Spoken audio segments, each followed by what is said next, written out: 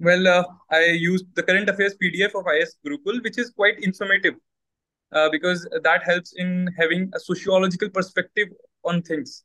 So that was quite helpful.